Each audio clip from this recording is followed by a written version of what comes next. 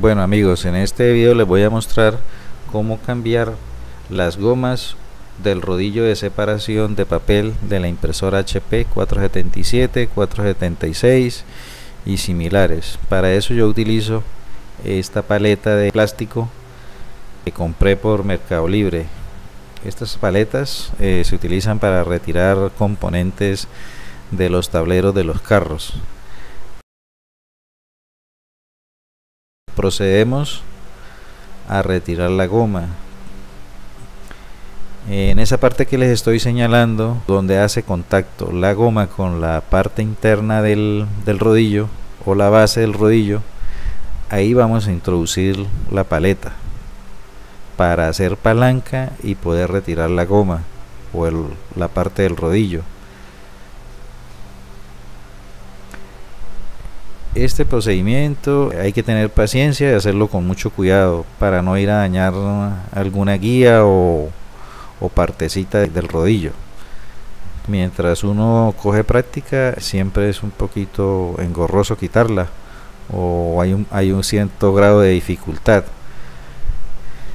Mira entonces ahí ya le hicimos palanca y ya retiramos la goma para montar nuevamente la goma debemos fijarnos en las guías que trae el rodillo. En esta imagen señalo con la guía número 1 y la guía número 2. Esa guía deben casar con las que señalo en esta imagen, la parte 1 y la parte 2.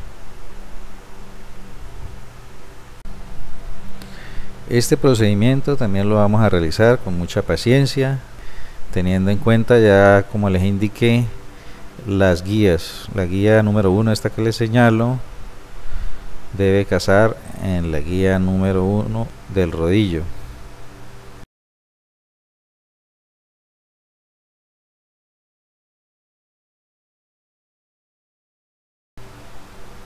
Y esta partecita de abajo debe casar en la parte de abajo del rodillo Entonces, como les comentaba, eh, tener mucho cuidado, tener mucha paciencia, de no ir a hacerle demasiada presión y partir alguna de esas paticas que tiene.